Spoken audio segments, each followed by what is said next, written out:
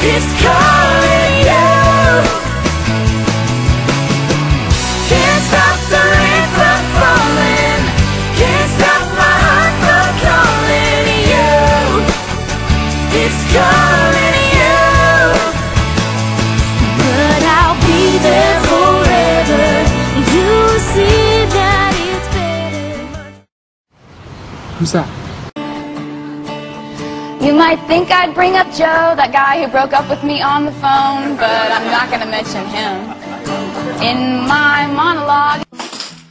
Hey, Joe, I'm doing real well. Always does this, right?